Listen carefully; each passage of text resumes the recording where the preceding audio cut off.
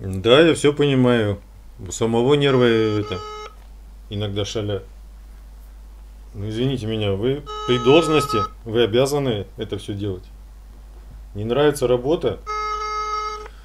Ну что я могу сказать? Не хотят брать трубочку. Так, народ, может кто-нибудь хочет позвонить по скайпу или телеграм? Екатерина Владимировна Кнопочка, это вы про кого? Можете не, не отвечать на вопрос. Так, а я пытаюсь выйти на связь с нашими соратниками, журналистами. Возможно, они как-то помогут в решении этого вопроса. Так, пробуем выйти на контакты. Так, Лана, привет. Ну что, получилось? А, ну, последний статус, что-то они там выясняют. Е э, началось какое-то человеческое общение. Вот э, начальник IT-отдела сейчас разбирается. В три часа она должна с кем-то там связаться и проверить, есть ли на самом деле доступ или нет. И в чем вообще проблема. На данный момент доступа нет ни к одному делу.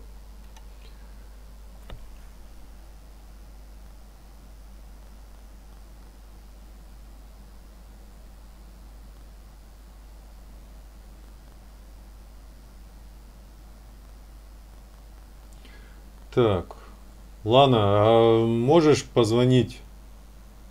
А, у тебя деньги, да, ушли? Так, ну я же говорю, борьба с ветряными мельницами, я прошла этот путь два года назад, но я победила их, они выполняли наши требования, но на деньги попали. Пока шли суды, на адвокатов, экспертов и так далее. Ну, я адвокатам не доверяю. Ни один адвокат себя адекватно не повел Сколько было адвокатов? Дерендяев, еще один, еще один, как минимум трое. Кто еще? Не помню.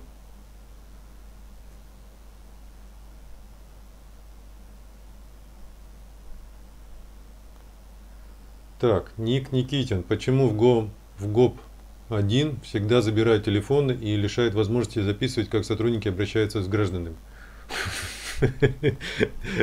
Ответ в вашем вопросе.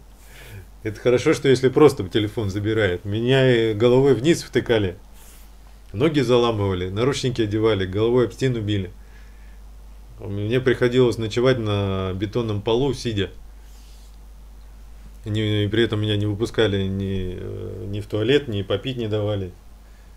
О чем вы говорите? Потому и не дают не снимать, ни это. Сразу все изымают, чтобы ни, никаких фактов не осталось. Их беззаконие. Ну а доступ к видеокамерам, естественно, никто не дает.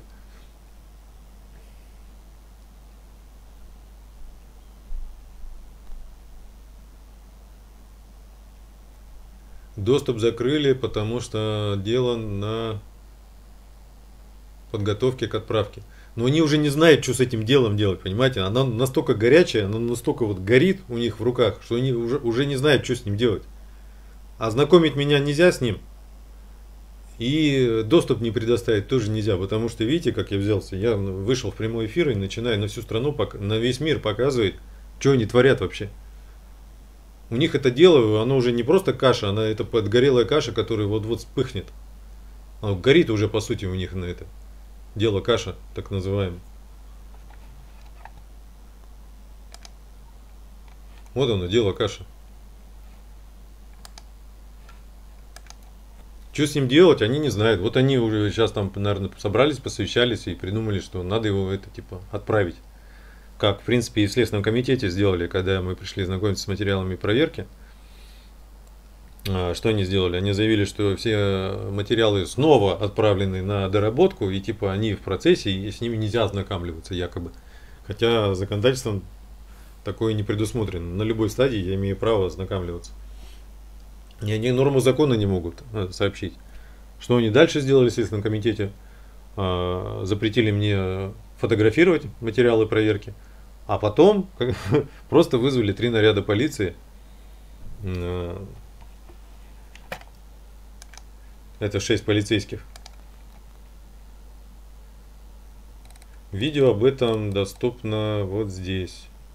А, они еще фразу произнесли. Давайте без закона, и я вам запрещаю защищаться. То есть я пришел, знакомился с материалами дела, а, э, с материалами проверки. На меня просто вызвали на три наряда полиции, шесть человек, и э, журналистов Сургутный информ ТВ, местные СМИ. Ну, репортаж об этом тоже есть. Вот он здесь.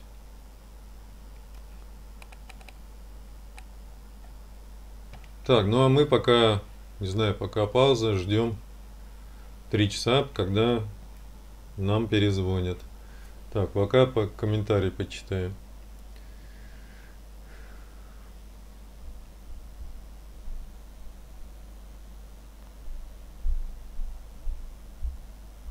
Адвокаты, да, подконтрольны полностью. Я не знаю ни одного адвоката, адвоката, который бы пошел против системы. Хотя нет, вот э, Марина Мелехова, она пошла про это, э, начала отстаивать правду и свободы, права и свободы. Ее тут же лишили статуса э, адвоката, насколько мне известно.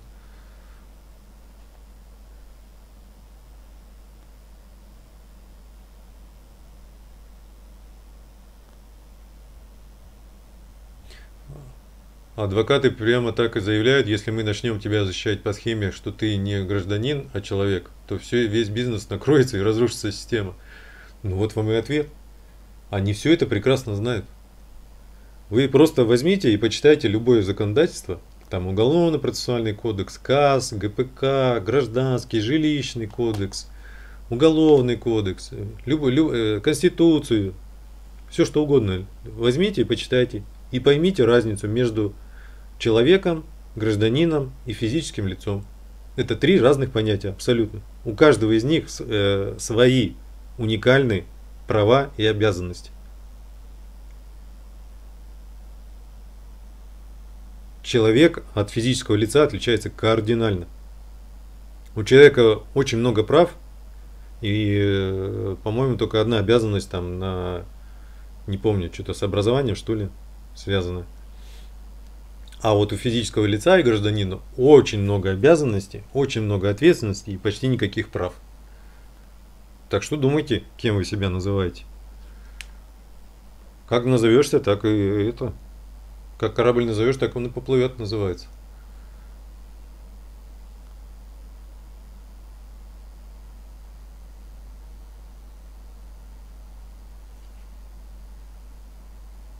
Также и суды, и полиция, и все остальные, все зависимы от главы, как города, так и округа. Более того, э, губернатор э, округа обычно назначает всех мировых судей, э, глав врача психушки, кого еще? Да много кого. То есть все это идет оттуда.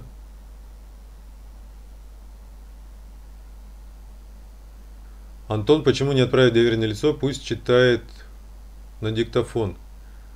Так а где это доверенное лицо взять? Во-первых, у него должно быть юридическое образование.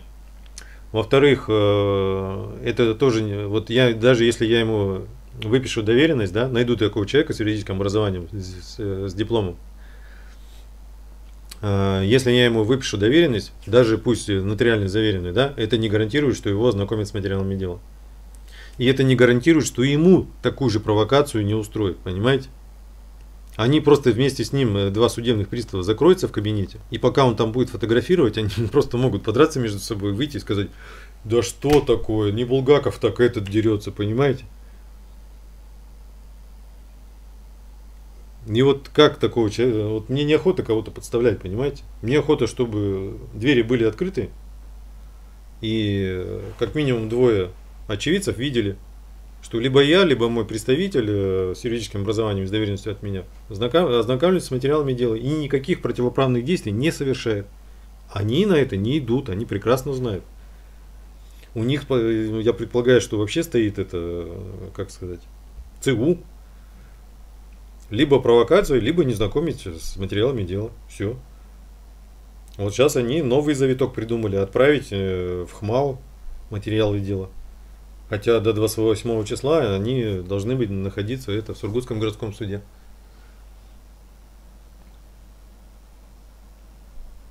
Более того, даже если человек придет с доверенностью и с юридическим образованием, с дипломом, да, они могут сослаться на то, что якобы материалы дела а, содержат секретную информацию на основании того, что там было э, определение о переводе судебного заседания в закрытый режим, то есть там какая-то типа якобы тайны существует, как они говорят, персональные данные истца там присутствуют. Это одно из оснований для перевода в закрытый режим. То это не гарантирует, что они ему просто откажут, скажут, что у вас нет доступа к секретке. Соответственно, нужен адвокат. А адвокат берет деньги. Это минимум 10 тысяч, плюс доверенность 2,5, ну то есть 13 тысяч как минимум. А скорее всего это вылетит в двадцатку. Извините меня, но у меня таких денежек нет. Как вы видите на экране, вот индикатор, да, во всеобщее благо, собрано 6413 рублей. Это за год. За год. И вся эта сумма, 6413 рублей, ушла на госпошлину для того, чтобы подать иск на Ерохова. Это бывший начальник полиции по городу Сургут. Вот так. Так. Ну, еще неизвестно, да, да, допустим, я это все решу, да, найду, найду деньги, найду адвоката по дешевке, там, в 13 тысяч уложусь, он придет ознакомливаться, ознакомится, выйдет.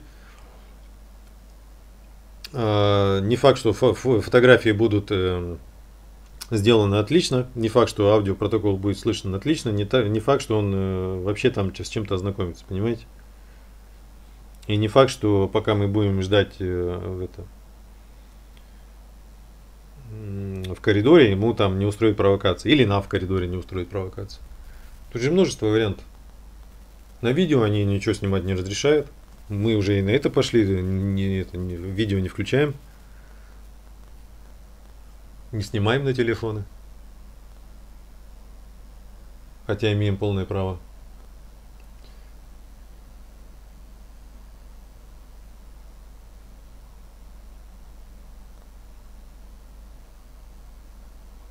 Так, физлица появляется после получения свидетельства о рождении с записью в ЗАГСе.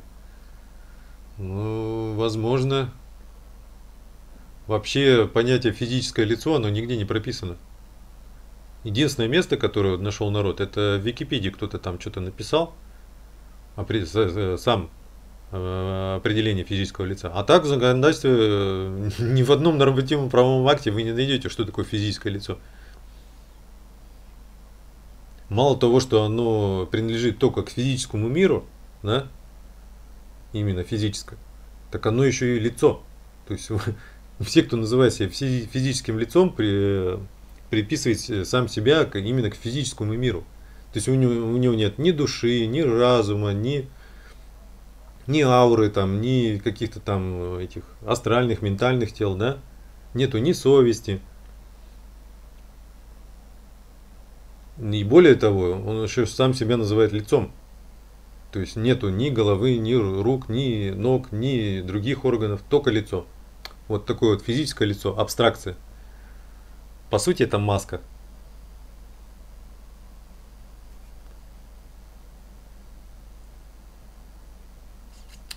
Они все в курсе, им страшно от того, что они не знают, как жить честно. Да все они знают, они просто ну, делают свой выбор. Их не научили просто этому родители. Бройлеры, выращенные в инкубаторах, не должны знать истинное устройство природы. Да все они знают. Это выбор каждого.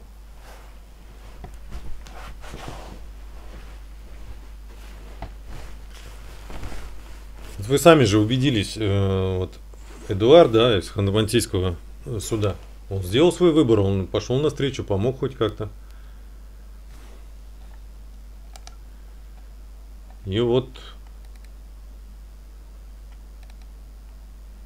Людмила Борисовна Артеменко тоже пошла навстречу. Хоть что-то, какие-то шаги предпринимает, чтобы как-то решить вопрос. Есть нормальные люди. Тут дело не в человеке, а дело в его выборе. В любую секунду, в любой момент, любой человек может сделать выбор в ту или иную сторону. Физлицо это труп. Не согласен. Если бы это был труп, ну это часть трупа, скажем так. Лицо это же часть тела, правильно? Почему не называть там физическая нога или физический палец? Или физическое ухо? А? Ну почему? Почему именно лицо? Ни лоб, ни нос, ни губа, там, ни ноздря, там, физическая ноздря, да? Вот. А именно лицо. Почему? Да потому что это маска. Персона.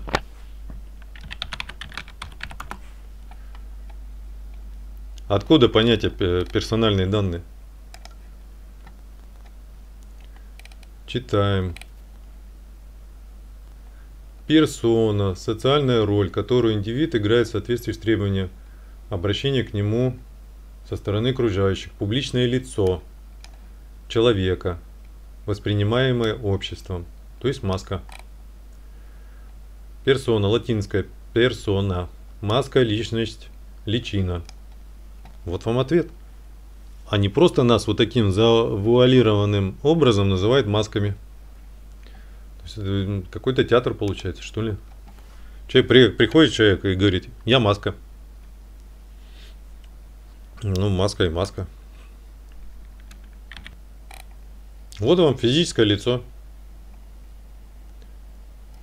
Вот еще одно физическое лицо. Теперь ему попадет, дал доступ к делу. Кто попадет? Гражданин, корень слова огражденный, ограниченный, невменяемый. Ну, тут само понятие гражданин, оно, вот если логически подумать, кто такой, чем гражданин, допустим, России, РФ, да? Ну, ладно, РФ не, не, не берем. Гражданин Франции отличается от гражданина Швейцарии. Границами. Территории ограничен территорией. Все его права и свободы ограничены территорией. Соответственно, гражданин это тот, кто ограничен территорией, а также в правах и обязанностях, согласно законам местным. Раньше говорили люди, а теперь лицо. Ну да. Вообще, я вам так скажу, тут такая истерия вообще в Сургуте.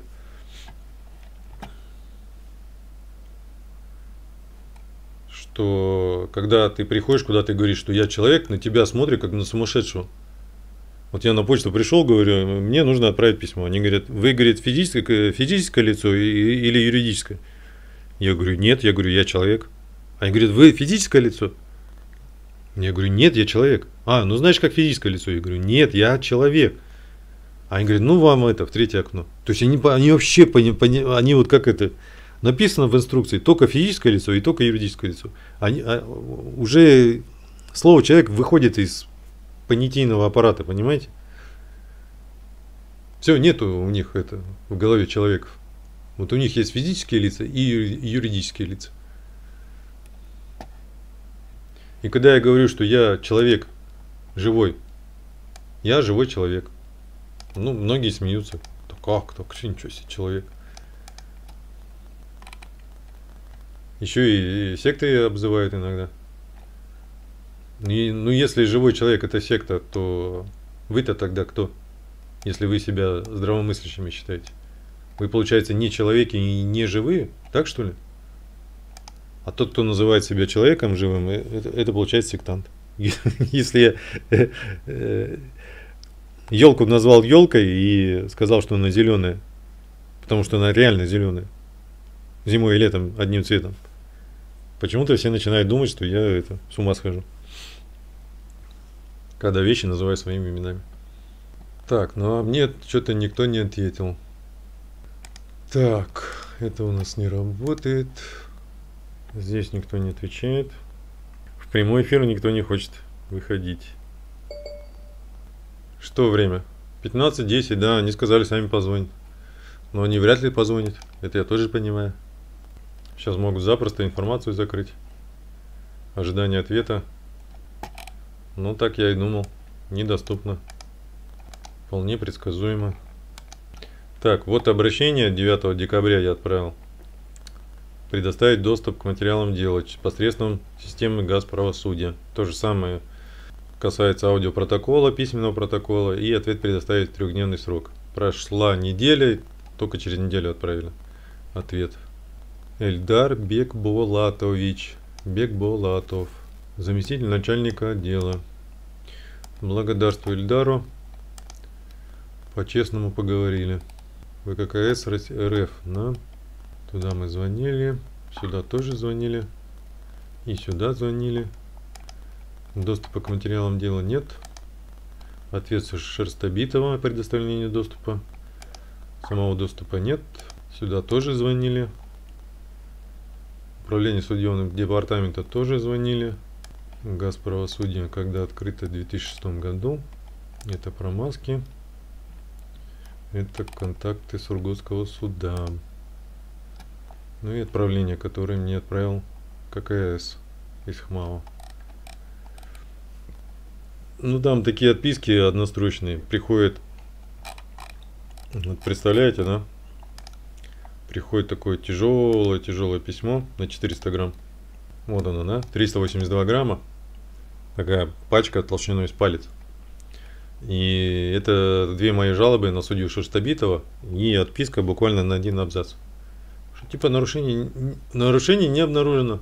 Хотя судья Шерстобитов э, дважды выписал незаконное, неправосудное э, постановление о проникновении в мою квартиру без возбуждения уголовного дела со взломом двери. Зашей карманы на одежде и иди в суд со свидетелями. Так они свидетелей не пускают внутрь кабинета. Я вот когда заходил в 107 кабинет, они женщин сразу отсекли, применив к ним физическую силу. И тут же пытались зайти вместе со мной в кабинет и закрыть дверь. Я, я тут же вышел, не, ребята, я с вами не останусь. Потому что, ну, я реально говорю, возьмут там, я не знаю, споткнуться или там ударятся, или сами между собой подерутся. А потом откроет дверь, скажет, смотрите, что творится. Булгаков-то оказывается это не просто хулиган, а еще по 318 УК РФ попадает. Составят акт, как они это любят делать. Так что тут это, тут такая ситуация непонятная, что делать и как быть. Я же это вот с Екатериной Владимировной разговаривал. Видите, она полностью уходит от ответа и снова кнопочки нажимает. То есть она не хочет прийти к консенсусу, когда я буду в безопасности, и они удостоверятся, что я не знаю, чего они боятся. Вот я везде приходил, и в Екатеринбурге, и в Сургуте до этого, знакомиться с материалами дела. А, нет, в Сургуте я ни разу, не помню, не знакомился. Не помню. Но в Екатеринбурге вообще проблем не было. Хоть вдвоем, хоть втроем, хоть четвером приходили, э, говорим, мы хотим ознакомиться с материалами дела. Пишите заявление. Пишешь тут же прямо на руке. Они через ну, там, 5-10 минут, минут максимум выносят и это... А, не, они приглашают в кабинет, типа, зайдите, можете ознакомиться. И все, я заходил, фотографировал каждую страницу. И иногда один, иногда вдвоем, иногда втроем. Вообще никаких проблем. Судебные приставы не заходили, никто нас не контролировал. Время по закону не ограничено для ознакомления с материалами дела. Мы, я все фотографировал от корочки до корочки и спокойно шел по своим делам. Здесь же какие-то сплошные, это, не знаю, даже не знаю, как это назвать. Какой-то триллер происходит. Так что тут карманы бесполезно зашивать. Тут, понимаете, он, если я останусь в одиночестве, вот, вот там у них, да, в закрытом кабинете, все что угодно может произойти, я потом не смогу доказать, что это не я сделал, понимаете? А еще мне могут это оставить одного и сказать, мы вам запрещаем производить фотосъемку. Потому что, типа там, вот как мне в этом в Следственном комитете запретили фотографировать, мои материалы проверки мне запретили фотографировать. Я говорю, а на каком основании? А на, на том основании, что вы типа распространяете информацию о персональных данных других людей в интернете. Я говорю, а где такие сведения? Ну вот мне начальник сказал. Я говорю, так он сказал, и что, а где факты? Где доказательства? Я говорю, нет у вас никаких доказательств. Он говорит, вы можете только читать. Ну хорошо, селся, сижу, читаю, делаю выписки на блокнот себе отдельно. Уже с половиной э, первого тома ознакомился из трех. Так они взяли, три наряда полиции вызвали, что у меня якобы поддельные документы инспектора и журналиста. Ну, Съездили в отдел, они там что-то копии какие-то сняли с этих документов, все, отпустили, взяли объяснение. Ну, то есть вот так вот э, ограничили доступ. Так мы пошли на следующий день прям туда же, в этот следственный комитет, уже втроем. Что они сделали? Они сказали, что матери- материалы снова это, э, поступили в работу, и они не могут нас ознакомить. И опять наряд полиции вызвали. Представляете, что делать? Это все есть на видео, точнее на аудио. Ну, видео как вставлял. Вот. Первый раз мы приходили знакомиться с материалами дела. Точнее, я один. А это э, второй раз на следующий день. Начало, ну я предполагаю, что Ермолаев, начальник следственного, следственного комитета, вызвал на нас наряды полиции. Три штуки, шесть человек. А на следующий день я сам слышал, как Осмолов, э, я его прям спросил, вы куда звоните? Он говорит, я наряд полиции вызываю. Человек приходит воспользоваться своим законным правом на ознакомление с материалами проверки по его э, сообщениям о преступлениях. Они их э, всячески укрывают, так еще и наряды полиции вызывают, когда я хочу знакомиться с ними. Ну это что, это вот, вот это вы называете правосудие РФ? Ну это никак нельзя назвать правосудием. Так, ну предлагаю сделать паузу, пока посмотрите ролик, не знаю какой вам даже включить, что-нибудь покороче, да? Так, раньше времени останавливаю. Мне кажется, уже пора звонить. Так, сколько нас народу смотрит? 8 человек. Маловато. Ладно, звоним. Общий отдел. Артеменко Любовь Борисовна. Городской суд. Людмила Борисовна? Да. Антон Николаевич, ну что там, известно что-то? Антон Николаевич, мы же с вами договорились. Если что, я вам сразу звоню. Значит, вами занимается молодой человек удаленно. Он находится в Не- Нефтеюганске. Мгм. То есть проблему мы обрисовали. Так, Он знает об этом, он занимается. Но у нас еще одна проблема случилась. У нас во всех судах округа отключили интернет. да ладно. Ну да ладно, ну зайдите на сайт любого суда, посмотрите, зайдете вы или нет. Какого? Ну, Какого, а, значит, например? Я с ним переговорила без э, 5-3. Он знает ваше дело, он его видел, он попробует там что-то сделать, но пока звонка не поступало. Поэтому, как только будет звонок от него, я вам сразу перезвоню. По поводу скриншота, оказывается, вам сегодня до обеда его отправили, и вы мне об этом говорили, что вы это все получили. Да, это до обеда, а я вас Ну, спросил на данный ну момент. вот, все, другого пока ничего нету. Э, Ситуация не изменилась, да? Вашим вопросом занимается молодой человек удаленно. да? А, Извините еще раз, Любовь Борисовна. А, Людмила Людмила Борисовна. Борисовна. Людмила Борисовна. Пока вы говорили, я обновил два сайта Сургутского суда и ХМАУ суда, и они работают. У нас интернет не работает в судах. Ну, я понимаю, что у вас не работает, а сайты-то доступны? Сайт доступен, наверное. В смысле, у вас нету доступа к интернету? У нас нету доступа к интернету. Прям во всех судах, и, и в Сургутском, и Ну. в ХМАУ? Как сказал вот этот э, молодой человек, говорит, что сообщение из Ростелеком пришло в 14.07 о том, что интернет в судах округа отключен. Этой под- проблемой они тоже занимаются. Вот он, в частности, и этим тоже занимается. То есть у нас пока не к кому больше обратиться, кроме как вот удаленно, чтобы он посмотрел. А вы не Ну, предполаг- А вы не предполагаете, что это диверсия? Нет. Нет, да? Нет. А часто Нет. такое бывает? Ну, иногда бывает, отключают. Но они не на большой промежуток времени отключают. Бывает иногда. На час, на два? Не знаю. Мы же не постоянно сидим в интернете. Ну хорошо, э, Людмила Борисовна, сейчас данный статус какой? Что, что мне ожидать? Э, Звонка от вас в течение какого Да, срока? ждайте звонка. В течение какого Потому что срока? вашей проблемой занимается Э, именно специалист в этой области. Ну, я вам благодарствую. Меня интересует вопрос в течение какого срока? Я не могу вам ответить на этот вопрос. На в течение сегодня. сегодняшнего дня он перезвонит. А вы до скольки сегодня работаете? До половины шестого мы работаем. То есть еще два часа. Время есть, я вам отзвонюсь. Если он ничего не выяснит, звонка не будет, я в любом случае вам отзвонюсь и скажу. Э, До окончания рабочего времени, да? До окончания рабочего дня. Телефон мой у вас есть, да? Телефон есть. Все, благодарствую. Всего Мгм. хорошего. Жду звонка. Вот так. Ростелеком. сообщил, что э, интернет в судах пропал. Ну что делается в таких случаях? Кто у нас выходил на связь? Добрый человек. Проверяем информацию. Эльдар Бекбалатович. Слушайте, ну если они интернет отключают, да? Предположительно, то до чего вот такими звонками можно дойти? По всей стране свет выключат? Только из одного дела? Так, Эльдар у нас не отвечает. Ну, знаете, что вам скажу? Если доступ есть с моей стороны к сайту суда, то и с их стороны есть доступ. Потому что интернет, он двухсторонний.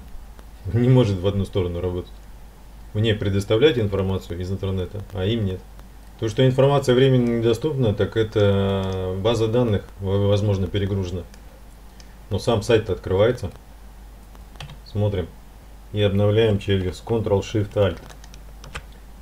Запросы идут на сайт. В данный момент идет обращение к базе данных. И именно база данных не отвечает. То есть вот он. Доступ к базе данных идет. Он занял 15 э, секунд 29 э, сотых секунд. 15,29 секунд. Все остальное доступно и перечитаемо. Статус 200 доступно. Интернет у них работает. Все грузится, кроме базы данных. База данных либо перегружена, либо отключена принудительно. То же самое проверяем на суд Ханты-Мансийского автономного округа. Зажимаем Ctrl-Shift-Alt и нажимаем обновить. Даже вот так сделаем. Очистка кэша и жесткая перезагрузка. Сайт ХМАУ тоже отвечает. Статус 200. Доступно. Все нормально. Все читаемо. Все открылось. То же самое сайт Сургутского городского суда. Информация по контактам. Очистка кэша и жесткая перезагрузка. Все читаемо, все работает. Один файл отсутствует. PNG-шка какая-то не открылась. Картинка. Все остальное доступно, все открывается. Двухсторонняя связь работает. Я думаю, сегодня уже все подустали. Что мы сегодня? Давайте подведем итоги. Значит, за сегодняшний день я узнал, что за 13 лет в Сургуте газ правосудия ни разу не использовался. Со слов одного из помощников судьи. То есть они ни разу не сканировали э, материалы дела и не прикладывали их э, э, для, в электронном виде в газ правосудия. Газ правосудия работает с 2006 года, то есть уже более 13 лет. Так, второе, что нам удалось выяснить. Шерстобитов все-таки написал, ответил на мое обращение о предоставлении доступа через газ правосудия. Этот ответ, вот он. Прислал он его где-то в 11.37. Э, он говорит, что вам предоставлена возможность, то есть доступ открыт, Однако по факту доступа нет.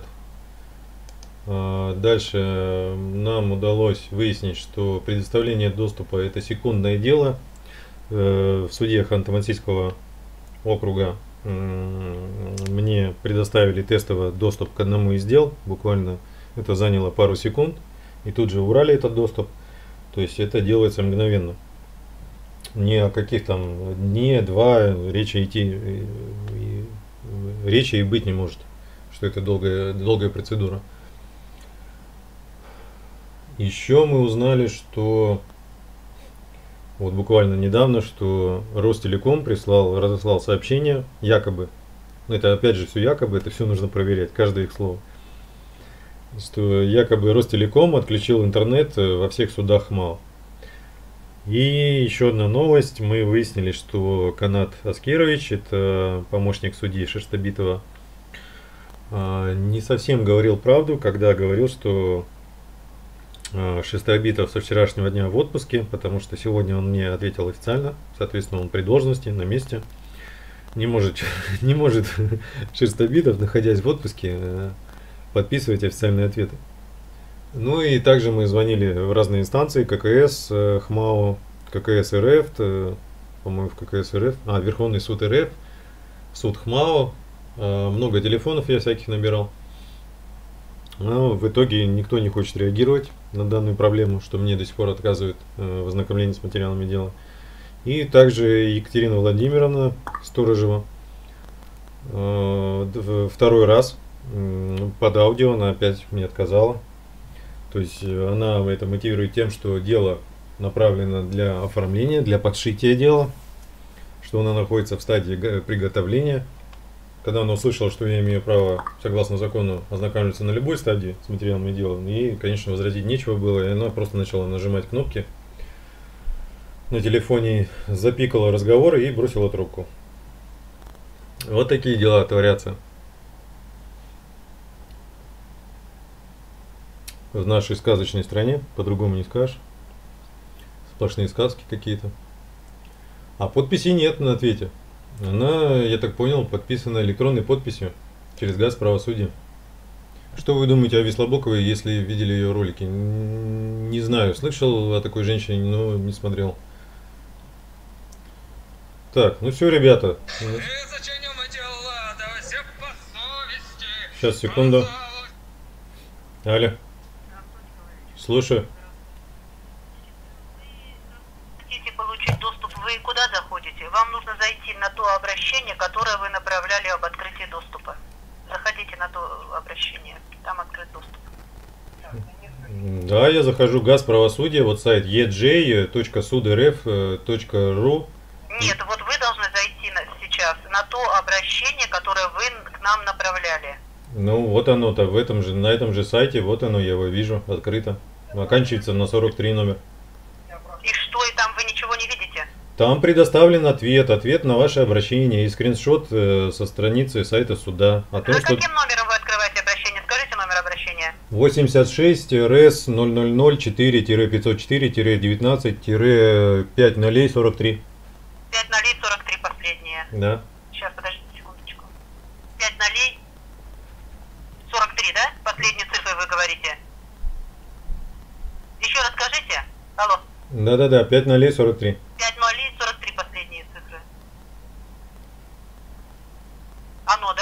да? Ну, Да-да-да. вы- оно, он его открывает. Ну, не знаю, у нас вот специалист, который работал, он удаленно все это увидел. Так, подождите, при чем тут мое обращение и доступ к делу? Это же два разных понятия. Вот я захожу в раздел «Дела», и мне пишется, что Да у вас... нет, вы в делах это не увидите. Как ты не Вы, увидишь? вы зайдите на обращение свое сейчас. Ой, Извините, я звонил в с- этот в суд Ханты-Мансийска, и там мне предоставляли тестово доступ к одному из дел. И я их увидел именно в делах. Есть множество видеороликов, которые поясняют, где именно смотреть дела. Я их все просмотрел. Я, я, я, я технарь, и я разбираюсь в этих вопросах.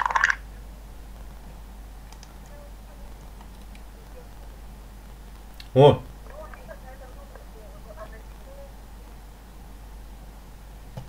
Любовь Григорьевна.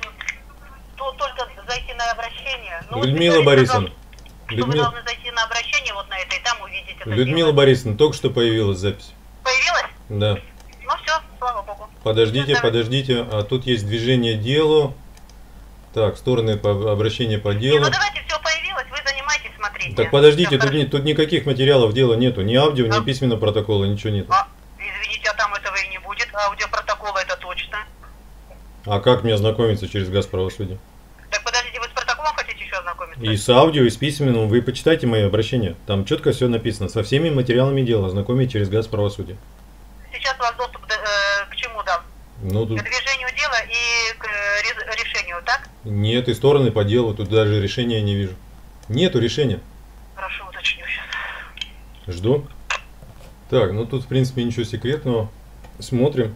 Так, обращение на двух листах, скриншот с сайта на одном листе, протокол проверки файла, обращение на двух листах. Так, ответ на обращение, скрин страницы.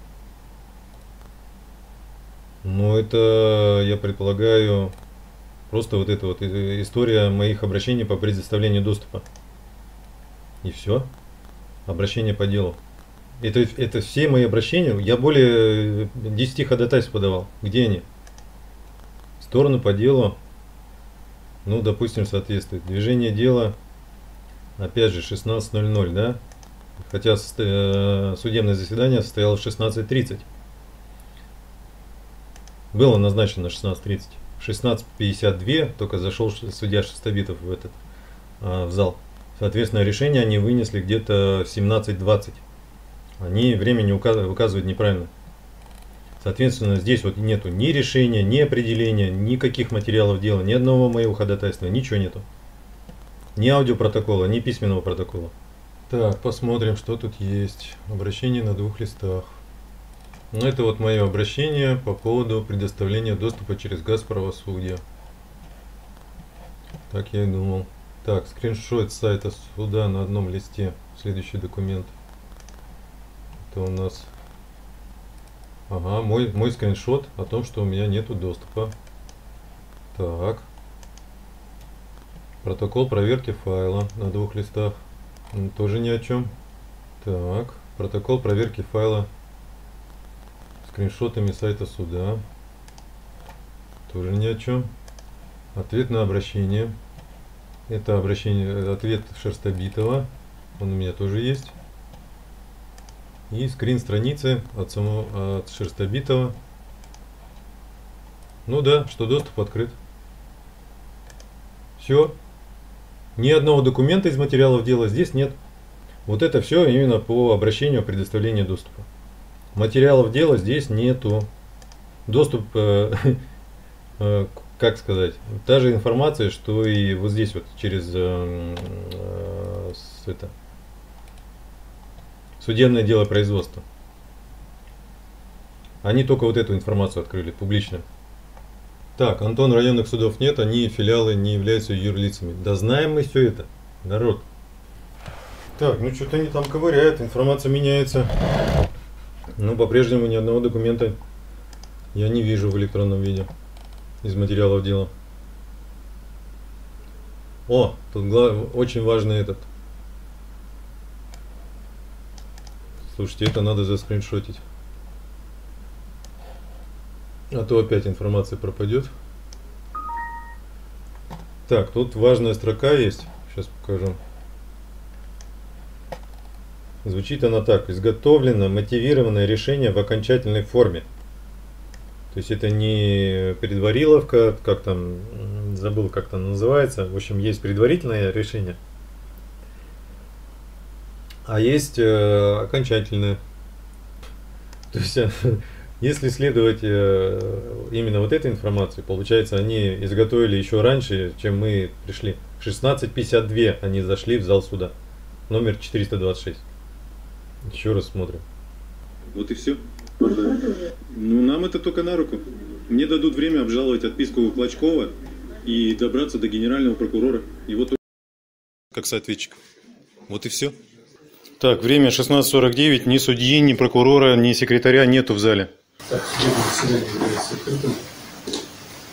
Проверим полномочия. 16.52 они зашли с опозданием на 22 минуты. Что они пишут в деле? 16.05 уже было изготовлено мотивированное решение в окончательной форме. Здесь у нас есть более 15 очевидцев. И время могут подтвердить, и опоздание на 22 минуты. Я специально это все озвучил. О чем это говорит? от предвзятости. Да. Представляете, сколько трудов пришлось проделать сегодня, чтобы добиться хотя бы отображения дела. Ни по одной строчке я не могу проваливаться. Так, обращение по делу. Э, ничего недоступно. Обновляю информацию. Так, движение дела такое же осталось. Все то же самое, ничего нового не появилось. Так, ну ждем звонка от Людмилы, Людмила Борисовна. Артеменко либо Артеменко. Так, ну давайте перерыв, там дальше опять посмотрим, чем дело закончится. Городской суд. А, Любовь Борисовна? Да. Вы про меня не забыли? А я, по-моему, а что я про вас забыла? Тот доступ, который вам разрешил судья, вам дали. Вы обращались к нам с, с вопросом технических проблем, правильно? Технические проблемы мы решили. Все mm-hmm. остальные вопросы я больше не решаю, я вам нового доступа не дам. Не, ну дело в том, что у меня в обращении написано именно доступ к материалам дела, в том числе к Вот доступ к, матери... к доступ к материалам дела только тот, который они дали, разрешил судья, тот и дали вам. Ну, Вы обращались к нам с технической проблемой, правильно? Потому что вы вообще не видели. а, Техническую свои- проблему мы решили. Это А понятно. все, осталь- а Подождите, все остальное по вашему заявлению, это обращайтесь э, к подождите, судье. дайте, дайте мне слово вставить. Вы сегодня очень много мне уже слов сказали, я вам последнее говорю. Значит, вы обратились к нам с технической проблемой. Техническую Не проблему только- мы Не только устранили. с технической. Другие просто- вопросы я не решаю. Подождите, смотрите, в ответе он указал, что доступ э, предоставлен согласно вашему обращению. Но в обращении я требовал не, не просто доступ, а доступ к протоколу письменному, к аудиопротоколу и ко всем материалам дела. Мне предоставили ко- доступ к общедоступной информации, которая и так доступна в сети интернет. Э, По вопросам предоставления других документов обращайтесь в приемную Шестобитова, пожалуйста. Вы отвечаете только за технический вопрос, да? Да, да, да, только техническая. Все, я вас услышал. Благодарствую. Всё, всего доброго, до свидания. До свидания. Мгм.